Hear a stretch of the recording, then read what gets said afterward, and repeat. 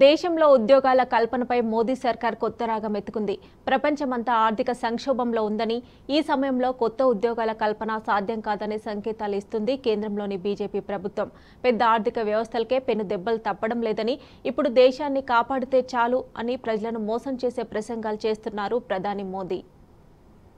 ఉద్యోగాల కల్పన విషయంలో ప్రధాని మంత్రి నరేంద్ర మోదీ చేతులెత్తేశారు. ప్రపంచమంతా ఆర్థిక సంక్షోభం నెలకొందని ఇలాంటి విషయంలో ఉద్యోగాల భర్తీ సాధ్యం కాదని పరోక్షంగా తేల్చేశారు.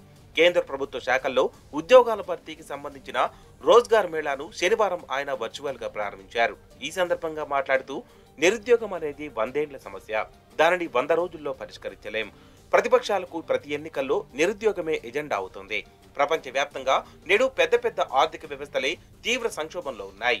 ఇలాంటి సమయంలో దేశాన్ని కాపాడడమే ముఖ్యమని పేర్కొన్నారు. సూక్ష్మ చిన్న మధ్యతరహా పరిశ్రమలకు మద్దతిచ్చి కోటిన్నర ఉద్యోగాలు కాపాడామని అంతకంటే ఏం చేయగలమని అన్నారు.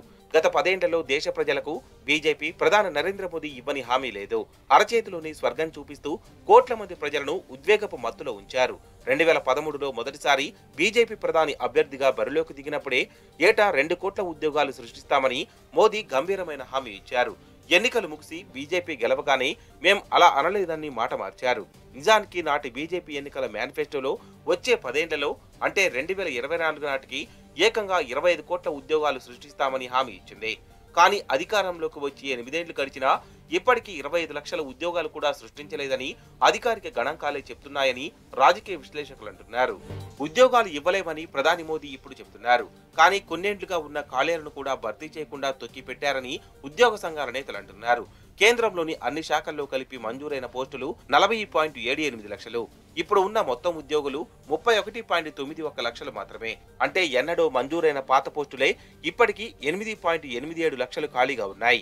కొత్త ఉద్యోగాల సంగతి దేవుడెరుగు ఉన్న ఖాళీలనైనా భర్తీ చేయాలని ఉద్యోగ సంఘాలు ఎప్పటి నుంచే మోదీ సర్కారును కోరుతున్నాయి. తమ విజ్ఞప్తులను బీజేపీ సర్కారు ఎన్నడూ పట్టించుకోలేదని ఉద్యోగ సంఘాల నేతలు వాపోతున్నారు. సార్వత్రిక ఎన్నికలు సమీపిస్తుండడం వచ్చే నాలుగైదు నెలల్లో కీలక రాష్ట్రాల అసెంబ్లీ ఎన్నికలు కూడా ఉండడంతో రోజ్గార్ మేళా పేరుతో యువతను మళ్ళీ మోసం చేయాలని మోదీ సర్కారు చూస్తున్నదని విపక్షాలు ఆరోపిస్తున్నాయి. ఎనిమిదేళ్ళ పాలనలో మోదీ ఒక్క హామీని కూడా నెరవేర్చలేదని ఎంతసేపు మతం పేరుతో ప్రజలను ఉద్వేగంతో ఉంచడానికే ఫోటోషూట్లు చేస్తున్నారని మండిపడుతున్నాయి.